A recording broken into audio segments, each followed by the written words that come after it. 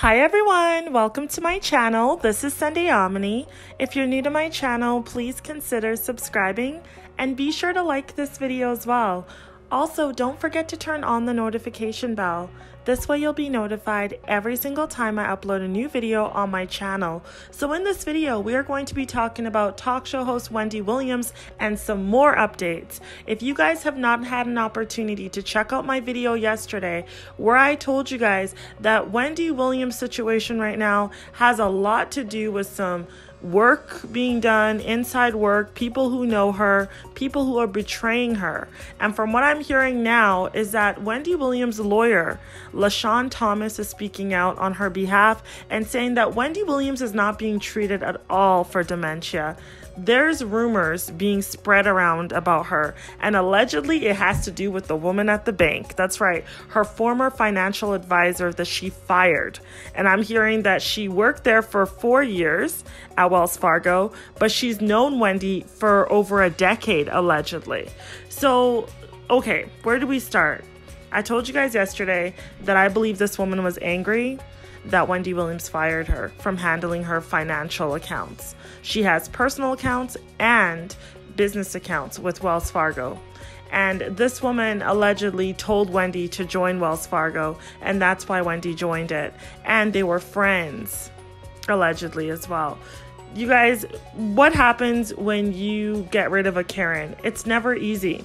It's never easy. All right. So these are the consequences. And first of all, don't let your friends handle your money. I don't think it's a good idea, okay? Because when you stop being friends with someone that's handling your money, what do you expect is going to happen?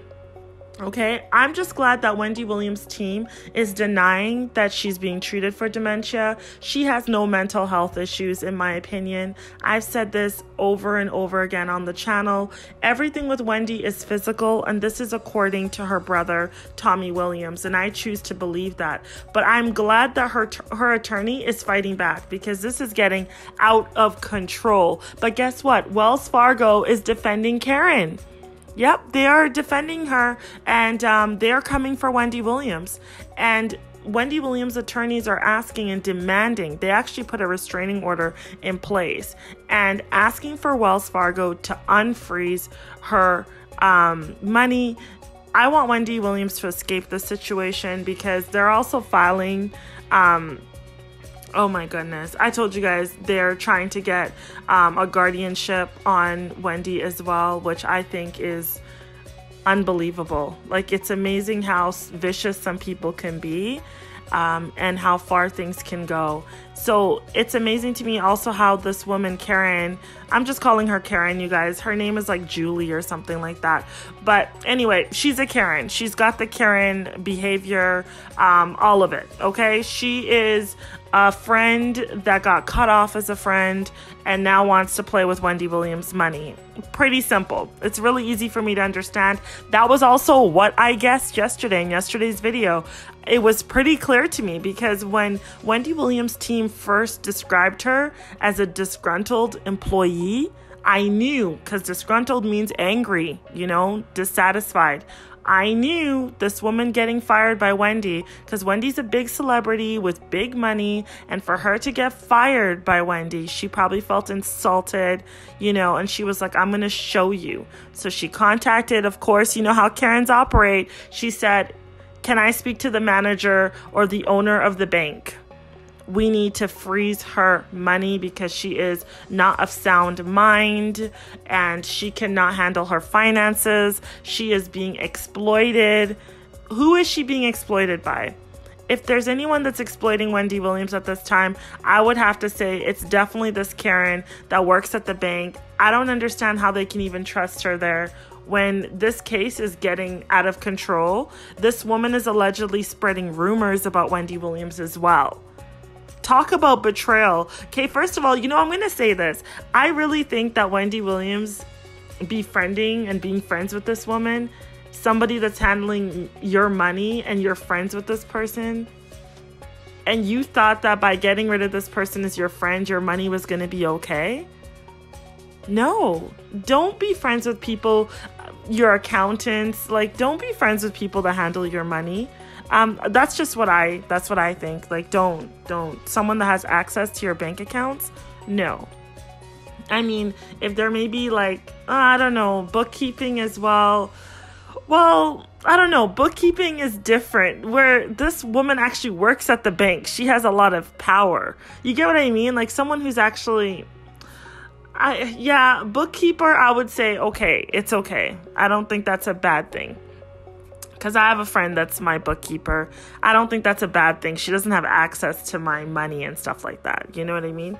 Um, but Wendy Williams' friend here, former friend, former friend Karen here, she had access to Wendy Williams' accounts. And Wendy actually complained about this woman several times at the bank, but nobody was listening. Nobody cared. So they're all supporting Karen, you guys, at Wells Fargo. Um, they're not supporting Wendy Williams at all. They're doing whatever it takes to bring down Wendy Williams. You guys, the machine is after Wendy. These corporate giants are after Wendy Williams. I don't like this bank, especially just reporting this and hearing a bank treat a client like this. Where's the confidentiality? Where's the respect? You know, I don't like how this is happening. And it shows me that's why I felt like this is personal.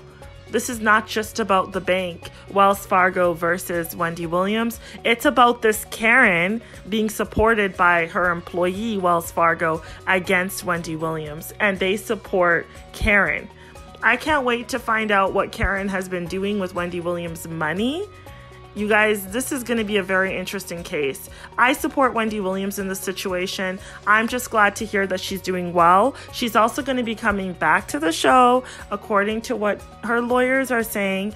Um, in statements, she's going to be coming back and um, she thanks everyone for the support. She also talks about how Wells Fargo did not even respect the fact that her son, you know, is a power of attorney. They just overstepped so many boundaries, you guys.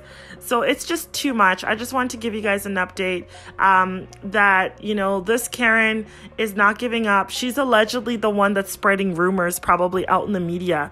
All the stuff that we've probably been hearing about because she's a friend of Wendy Williams, or she was a friend of Wendy Williams. She knows a lot of dirt about Wendy, you know, so now she is out here spreading stuff as well, trying to destroy her reputation because she's so mad that she lost a millionaire client like Wendy Williams. But Wendy, I'm also going to say this before I leave Wendy has to be careful. Okay? She's too trusting. And it's like, come on, what were you thinking being friends with someone at the bank that's handling your money and then you have the nerve to get rid of them as a friend?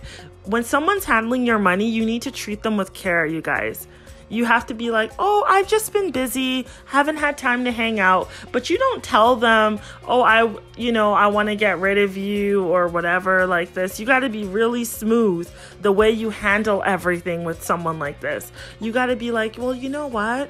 Um, I'm thinking of relocating. You know, I just bought a penthouse on this side of the city, and um, there's this bank that's closer to me. And you know how I love taking out cash and stuff like that when I go out. Um, I was thinking that maybe it'd be a good idea for me to get a bank account here, or just say, Oh, my son joined this bank and was telling me all this great stuff about this bank. So I'm thinking of maybe moving and out, you know, moving my funds over there, um, just so then that that way I can be, you know, me and my son can have the same accounts and have the same um, financial advisors dealing with my son's account and my account or something like just something, you guys. Just leave the Karen in peace. But you know how Wendy is. I have a feeling like when she cut this Karen out of her life, she was just like, don't call me anymore. I don't want anything to do with you. And then she went to go report. I think Wendy Williams turned into a Karen first against Karen and said, Can I speak to your manager? That's what Wendy Williams did. She was the Karen first. Because you guys, oh, by the way, you guys know that Wendy Williams um, is not in support of a Karen, right? Like, oh, she doesn't believe that it's okay to call people Karens. By the way, anyone can be a Karen, in my opinion. It doesn't matter what background you're from. Anyone can be a Karen, but there's always going to be the original Karen. And a Karen is someone who's entitled, who has a lot of privileges, gets away with it. They can cry, everyone believes them, and their word matters. So Wendy Williams tried to be a Karen first by coming after this Karen, but guess what? Who believed the original Karen at the bank? Wells Fargo. They didn't even believe their own client, Wendy Williams, because Wendy Williams is not the original type of Karen. The original Karen is someone that has privileges and very entitled. Yes, anyone can be a Karen, but not everyone can do it the way the original Karen does it. Okay, in my opinion. So I don't feel like calling someone a Karen is something that's mean or rude. No, there are people who are very entitled, and there's only one look of the original Karen, okay? That really takes advantage and gets whatever she wants at times and is annoying many people from different communities have to deal with a Karen, the original Karen. There's husbands that are married to Karens that can't stand them. There are people who work with Karens in the workplace that can't stand them. And they just get whatever they want sometimes. And they're being called out. So I have no problem calling someone a Karen if they're a Karen. But Wendy Williams has been uh, played by a Karen. She tried to pull a Karen on a Karen and spoke to the manager against a Karen. And then the original Karen got all the support. And now Wendy Williams is fighting for her reputation. She's fighting for her money because the original Karen always wins, you guys. All right? Even if I tried to be a black Karen, I'm not going to get away with a lot of things, you guys. Not a lot of people are going to have pity for me. You know, not a lot of people are even going to believe me. But the original Karen always usually gets believed. You know what I mean? So it is what it is. Um, Wendy Williams got played by Karen. Wendy Williams was saying on her show that she doesn't like anyone being called a Becky. Oh, it's so offensive. Oh, anyone being called Karen, it's offensive. But I believe that Wendy Williams tries to pull out her Karen when necessary. And in this situation, she tried to be a Karen by contacting the bank managers to remove this Karen from handling her money. But then it backfired because we always know that Karen comes out on top sometimes. So Wendy has to fight this, and I do support Wendy in this situation. She has to fight this, and um, we'll be here to watch and cover the story as well. Very, very toxic. Wendy Williams thought that she could be friends with anybody at the top. But no, sis, you can't. You have to move in silence. You need to be really careful. Keep your friends close to you. But people who handle your money and who are business associates are not your friend. Wendy should know better than this. You know, she knows a lot more than I do. She has a lot more life experience than I do. I'm just 36 years old. I'm not a millionaire. She is. She's in her 50s. She has lots of life experiences. I don't know what she was thinking about being friends with this woman. And now this woman has froze all her accounts. Her life is getting messed up right now. And it's really sad to see this happening to her. You guys, very tragic story. Anyway, be sure to connect with me on Instagram at Sunday Omony. And if you'd like to support me, please get your copy of my ebook. It's called More Than Good Enough. Sorry, you guys, this was a long video, but it all had to be said. I hope you guys understand what I'm saying. Anyway, the woman's original name is like Julie or something like that, but we she's got Karen tendencies, so we just got to stick to the Karen. Um, it's just much easier, okay, for us to identify her that way, all right? Until we get more information about her. But um, anyway, so um, what was I gonna say before I end this video? Be safe, you guys. Protect your money. And just know that everyone's not your friend, especially when you're a successful woman running a business. Be sure to set boundaries. Really have those boundaries up.